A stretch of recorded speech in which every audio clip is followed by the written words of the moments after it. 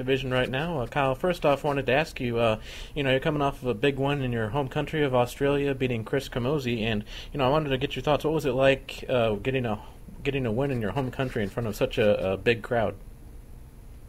I, uh, it was awesome, you know, to get the opportunity to fight back home in front of a home crowd. Um, especially in the UFC, you know, it's the, it's the top of the sport. So to, to get the opportunity to fight back home in front of a home crowd was just phenomenal. You know, it's an experience I'll never forget. Right. So, um, you know, I know the Ultimate Fighter has been around for a little while. Um, you know, you were on, like I said, season 11. Uh, j- just curious to know from your perspective, uh, since the show has been around, it's not as new as it used to be, but, you know, what was it like uh, for you doing the show for your career? How do you think it's helped you, uh, you know, as far as your mixed martial arts career goes? I mean, I think it helped a lot. You know, um, I've been fighting a while and trying to make it the big show for a while. And, um, you know, and never, you know, I used to fight the Elite XC for a bit, but, uh, you know, never quite happened. So, um, you the show come along and give me that great opportunity to um, get into the UFC. So, you know, uh, no doubt I wouldn't probably wouldn't be here if it wasn't for the show. So, you know, I love the show.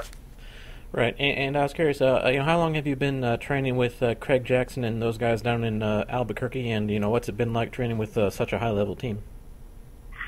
Um, I've been training here for probably, uh, well, I used to, when I lived in Australia, I'd come over here like uh, twice a year for a couple of weeks. I've been doing that for probably uh, seven, years now, and then made the move over here permanently about two years ago. But, uh, yeah, as far as training here at Greg's, it's, it's you know, it's awesome. Um, I think it's one of the best camps in the world. Uh, there's a great group of guys there, top level athletes, so um, everybody pushes you every day, and I think it's just a great camp to be part of.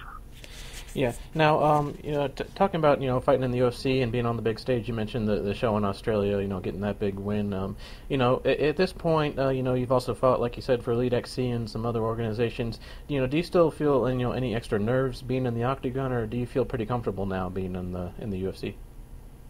Um, there's always some nerves. Uh, I think I feel there's nerves for any fight organisation. You know, um, I think they're just normal fight nerves. Um, there's no added pressure for me. You know, I take every fight just as a fight. Uh, of course, I want to win. I want to go there and put a good show on, but I don't put that added pressure on myself. Mm-hmm.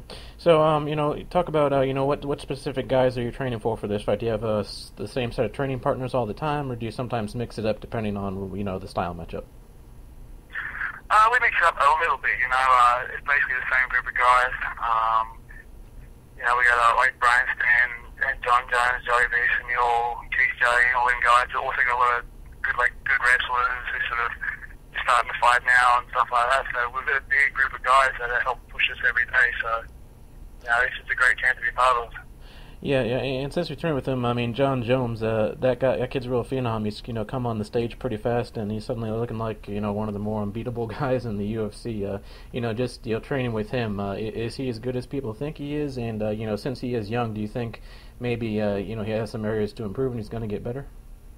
Uh, I think absolutely he's going to get better. Now he's so young and he hasn't been in the sport for that long, so he can only get better. You know, and uh, he, he is as good as everyone says he is. You know. You know, you one thing one day and then you come in a couple of days later and he's mastered it, you know, so he's actually he's a freak. And he picks up stuff so well and uh, he's got a great mind for the sport. He's really creative, so, you know, I think he, he's great in the future of the sport.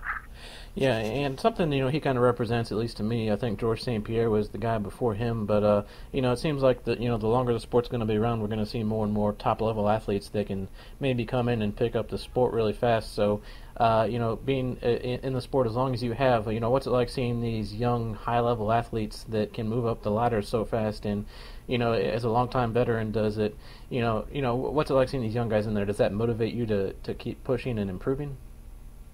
Absolutely, you know, it motivates me a lot. Um, these young, kids, they grow up watching the sport and they grow up, you know, uh, practicing, watching it on TV and mucking around with their friends and practicing at home and stuff before it even happened. You know, uh, I didn't even know about mixed martial arts until I went to a class and, and someone showed me what it was. You know, I think I was 21 or 22 at the time. So, you know, I think it's a great start on us and, and kids are sort of more focused on it now and, and grow up doing it. So, absolutely motivates me, me to push myself harder and train harder so I can uh, compete with other guys. Right now, uh, you know, talking about your opponent coming up, it's going to be UFC on versus five, uh, October fourteenth in Milwaukee, Wisconsin. You're facing Ed Herman, another guy that probably fans are very familiar with. He's been on the Ultimate Fighter in a prior season. Uh, you know, a pretty well-rounded guy. Uh, you know, pretty good wrestler.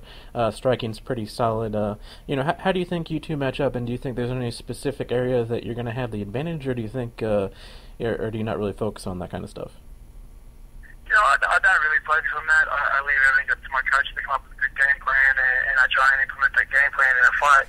I know it is well rounded. Know, I watched a lot of footage on him. He's a tough guy. He can take a shot, so it's going to be a great fight. You know, and it's going to be hard to put away. So it's just going to be. I think it's going to be a tough battle, and it's going to be a great fight for the fans. Right. Now, he obviously had a really quick win in his last fight, but before that, he'd been coming off of an injury. Um, I know injuries are part of the sport, but, you know, since you're involved in it yourself, uh, do you think uh, if this fight goes into the deeper waters that maybe you'll have the advantage just because of how long he was out of action, or do you think that that's probably not going to be an issue? Yeah, I don't think it's going to be an issue. You know, uh, we're at the top of the sport. Like, uh, you know, he knows he's on the big show, so he's going to come into a fight not prepared. You know, he's going to training butt off right now, trying to get in the best shape he can for a fight. You know, I think he's going to come in the best shape he can. So, you know, I don't think that's going to be a, a problem for him. I think, you know, we're both going to have the ability to go over to the distance. So, I think it makes for a great fight, you know. Mm-hmm.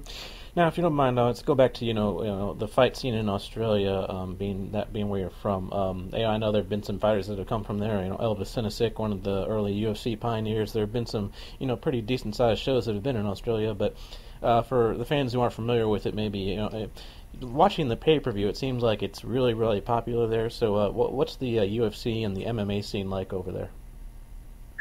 Uh, it's you know it's, it's got a really good rep over there in Australia. Um, love it, the people love it. You know, um, I think as far as being accepted by the general public, it's still probably five years behind where America is now, but it, it's getting bigger and bigger. You know, um, I think especially the UFC going to Australia, it only helps the sport. You know, and, and you can tell by the fan reaction at the at the UFC in Australia, the last one, that uh, the fans loved it. So, you know, I think um, it's great. I think they should have more shows there.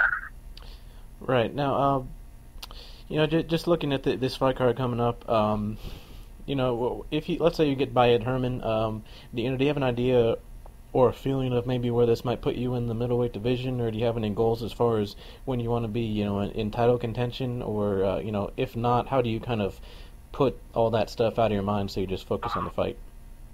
Know what I do? I just focus on the fight. I don't try to look past any opponent, no matter who he is. So um, at the moment, I'm 100% focused on Ed Herman, and I guess. Uh, you know, after the fight, then we'll see where the cards lie. But uh, at the moment, my, my main goal is Ed Herman, and there's no way I'm looking past that because he's a tough dude.